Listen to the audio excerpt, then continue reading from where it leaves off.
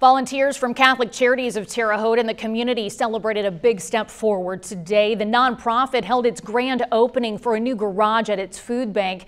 It will store vehicles there and be used for drive-through distributions.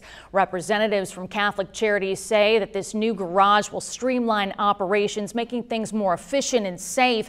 The monthly bread and produce markets that happen every third Saturday will now take place at the food bank. It was previously held at Ben Franklin Elementary School, and it's important to point out that that change starts tomorrow. Drivers will need to enter from the north via 14th Street.